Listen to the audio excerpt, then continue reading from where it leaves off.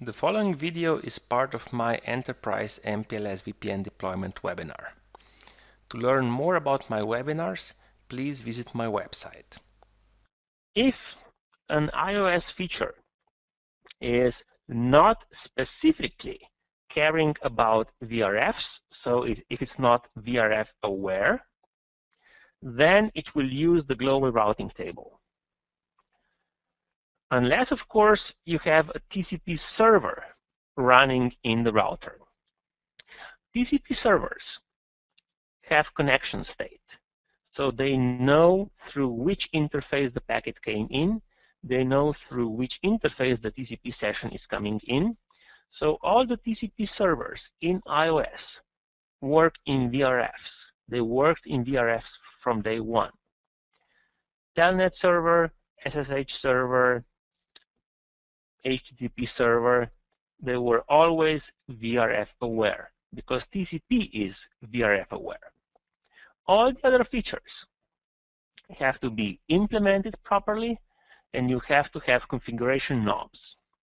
And some with recent IOS releases, most of the things are already VRF aware. It was a total disaster at the time when MPLS VPN came out. And during the decade or so of MPLS development, they made most of the features VRF aware. But still, you have to be careful. For every single feature you want to use in the VRF, you have to check whether it's VRF aware or not. VTY access VRF aware from day one. Clients also available. Management protocols like Syslog, TACACS, Radius, SNMP were added a little bit later. IPsec, GRE, VPDN tunnels, they all work today, but if you have really old software running somewhere, you might have a problem.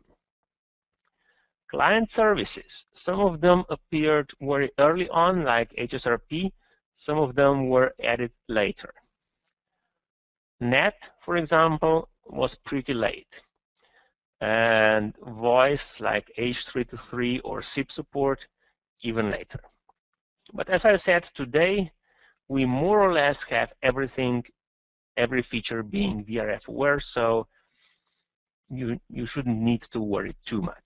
But still, check before you use it. To get more information about my webinars, to register for an online session or buy a recording, please visit my website.